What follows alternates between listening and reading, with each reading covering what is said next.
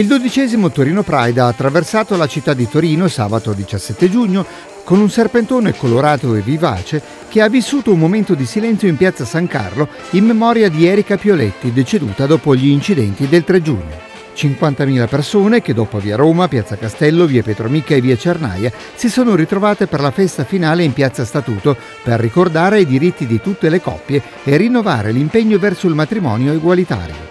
Alla manifestazione hanno aderito numerose associazioni, partiti e sigle sindacali, presenti le istituzioni, Consiglio regionale, Regione Piemonte, Città di Torino e numerosi sindaci e amministratori in rappresentanza delle loro realtà.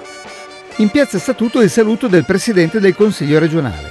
Oggi siamo in migliaia in piazza per ribadire no a tutte le discriminazioni, ha dichiarato, un inno alla libertà per perseguire un obiettivo, quello di riuscire a contaminare quelle persone che ancora vivono usando la sopraffazione e negando diritti. Lo spirito del Pride saprà guarirli.